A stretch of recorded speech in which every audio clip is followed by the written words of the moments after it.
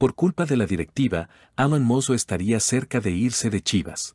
Bienvenidos al canal Aficionados Rojiblanco suscríbase al canal para saber de todo lo que sucede con el club. Los altos mandos de Chivas no han dejado de provocar la molestia de los aficionados, quienes culpan al mal armado del plantel como el principal causante de la reciente eliminación en Leagues Cup. Es una realidad que la directiva no está gestionando de la mejor manera al plantel y si se descuidan, uno de sus mejores jugadores del plantel como lo es Alan Mozo, podría salir gratis de la institución.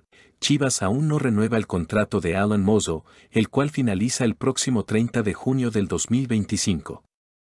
Aunque al lateral le resta un año de contrato, hay un motivo por el cual la directiva ya debería estar trabajando en extender su relación. Si el contrato de Mozo no es renovado antes de finalizar el año, este último tendrá derecho a negociar con cualquier club a partir del primero de enero y en caso de llegar a un acuerdo, abandonaría a Chivas como agente libre sin dejar ninguna ganancia económica. Comenta tu opinión.